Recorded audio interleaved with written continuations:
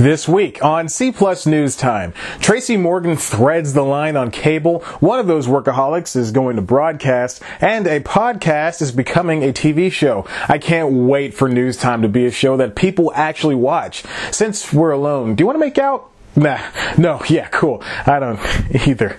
What, what's that? Still no? Alright. You may be able to deny me, but you can't deny this. C Plus News Time.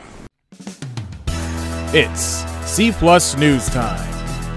Delivering to you the news you didn't know about, the news you didn't care about, and the news you didn't know you cared about. With host Chad White. Now, here's that host, Chad White.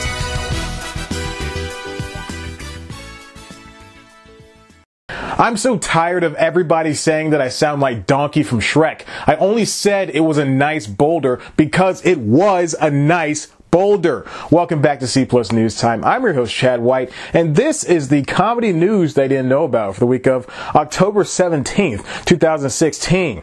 First up, Tracy Morgan is returning to TV, and no, he's not getting anyone pregnant. The comedian is set to star in a new TBS series from Jordan Peele and John Carcieri about an ex-felon who moves back to a gentrified Brooklyn.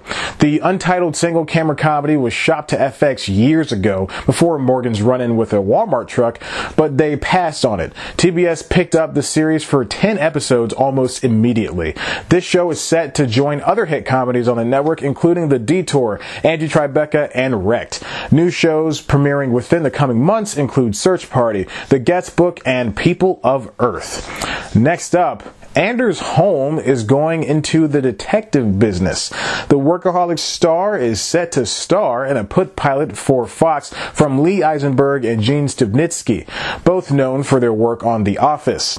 The show is called Pigeon and follows Simon Pidgeon, Nice. As a PI who's good at the work but bad at his own life. Like Tracy Morgan's series in the previous story, this show, as a put pilot, will be picked up regardless of the pilot itself. As for Workaholics, it was renewed for a seventh season, but shows have to end at some point. And finally, the Totally Laime podcast is becoming a Totally Laime TV show. CBS put an order out for the series, which is being bandied as a quote, hybrid comedy from the podcast host Elizabeth Laime. Writer Tami Sagher is along for the ride too. The two co-wrote and will executive produce the series. If you don't know, Totally Laime is, really was because the podcast is defunct now, a podcast where a young couple develops their relationship via the internet radio format. The show then spun off into Totally Married and Totally Mommy, which are very self-explanatory themselves. This isn't the first time a podcast turned into something more. Recently, there's been an uptick in relatively favorite shows being transformed or redone for television. Comedy Bang Bang on IFC, in fact, is ending its five season run within a few weeks. The same network used Marc Maron's WTF and changed it into a sitcom of sorts. That show also ended its four year run this year. Zach Braff helped develop a show for ABC called Startup and then even nabbed they put pilot commitment. That startup is based on Startup, a podcast in the documentary format that followed Alex Blumberg on his quest to start a podcast network. Before those shows came, This American Life was a highly lauded podcast that turned into a highly lauded TV show for two years. That show racked up two Emmys and several nominations in its short run. Ira Glass's show managed to keep its excellent storytelling across both mediums, but that's because he knew what he was doing and the network didn't. One of the bigger issues when a podcast becomes a show is that the original voice can get lost in all the glitz and glamour of the silver screen. Paolo Mardo, writing on Film School Rejects, cites Henry Jenkins, who describes that phenomena as transmedia storytelling, which occurs when, quote, integral elements of a fiction get dispersed systematically across multiple delivery channels for the purpose of creating a unified and coordinated entertainment experience. Essentially, Jenkins is saying that each piece of media, in this case a podcast and a TV show, should remain themselves as separate entities. To put it into perspective, it's like if Game of Thrones cut out all of Arya's scenes and she just popped up in places and they put those scenes in comic books. How the hell did she get to Braavos again? Lore is another podcast that's huge in its own world, so now it's expanding out to TV. It's said to stay true to its roots with historical accuracy and excellent production. Serial 2 is set to become a show. With these podcasts becoming TVized, there will be an increased interest in the original property, naturally. One of the big fears, however, is that the podcast will lose its focus and turn into something that it's not.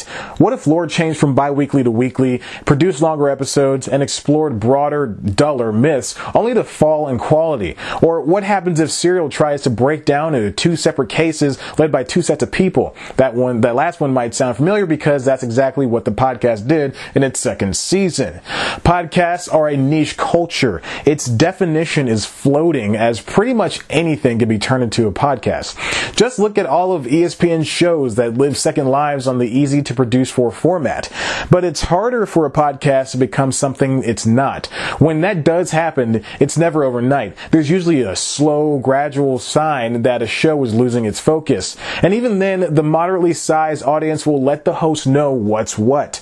Totally Laime is going to be the first of its kind on CBS, a network known for utilizing only one or two details of a show and then running with it, not letting story or characters evolve into something that they could be. Well, except for How I Met Your Mother and Rules of Engagement. I love those shows.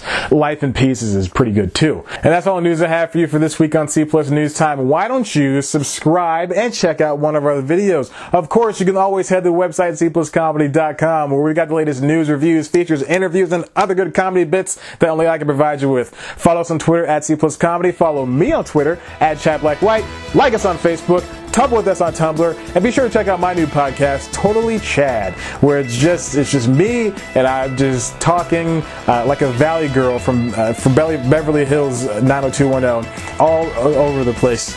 all right, bye.